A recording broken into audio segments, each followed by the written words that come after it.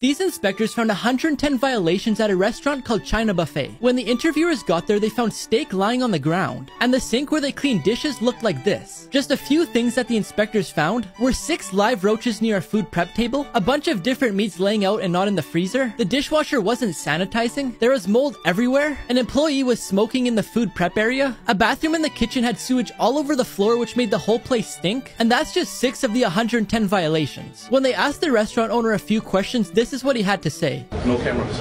No cameras what?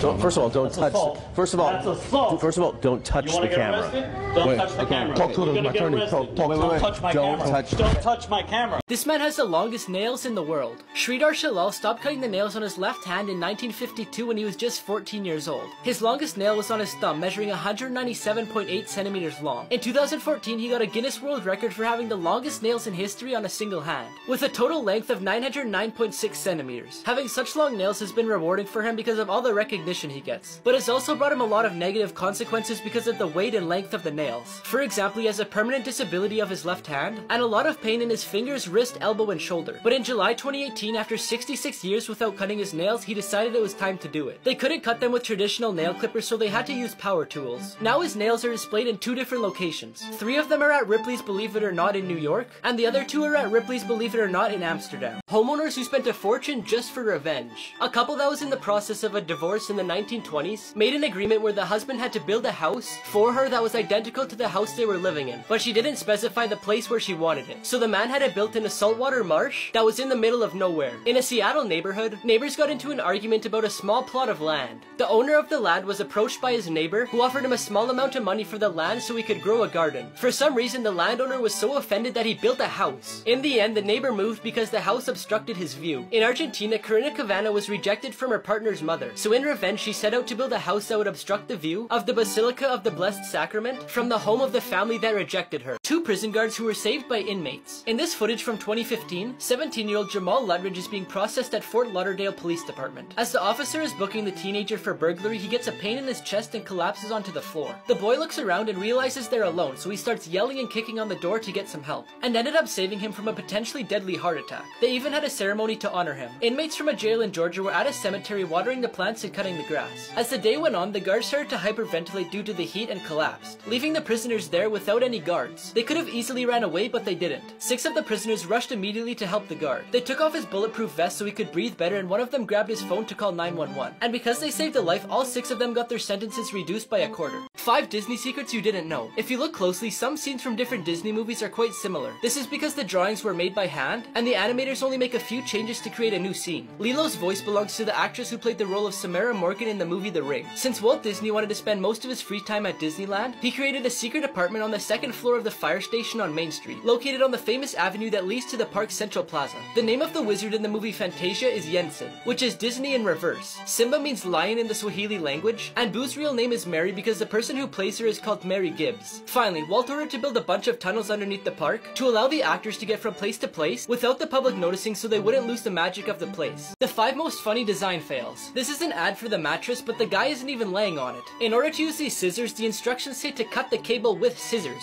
You would think the inside of the left one is blue and the inside of the right one is red, but it's actually the opposite. On the red one, you could see it says blue. This maze is called amazing, but it's not really amazing because the only end and finish is right here. Now, before I show you the craziest one, I found this app that lets you prank your friends and family by changing their text messages. Just press a button on my profile to get it. Finally, each animal says what to feed it to keep things separate. For example, the lion says feed me plastic and cans. But the thing is, those are terrible things to feed them and kids might actually think that's what they eat. Mysterious photos that can't be explained. In this photo, if you look behind this man's head, you can see a shadow behind him. The face of the shadow belongs to Air Force pilot Freddie Jackson, who had passed away and his funeral had taken place a few hours before. In this photo of students, you can see a hand that doesn't belong to any one of them. And although they thought it was a joke, many people think it was paranormal activity. This photo was taken on a bridge in Oakville, Kentucky. The shadow appears to be of a woman walking, and coincidentally, there's a story that a soldier murdered his wife and child near this location. After a family dinner, Mr. Cooper took this picture to remember. But when they looked at it, they seen a strange figure hanging from their ceiling. The most uncomfortable products ever designed. Number 1. This child car seat. In order to help parents keep their children quiet in car seats, a designer came up with the idea to paint Disney's Princess Cinderella on it. It looks good when there's a small child sitting in it, but as they get older, you'll have to adjust the headrest and to do that, you have to stretch Cinderella's neck.